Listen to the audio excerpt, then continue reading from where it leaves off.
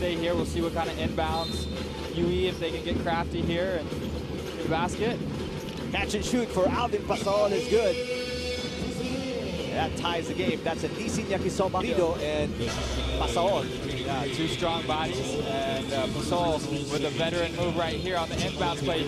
As a defender, you always have to know where the ball is. You can't take a, your eye off the ball for a. Watch the latest UAAP Season 81 games just, click the I button and don't forget to subscribe.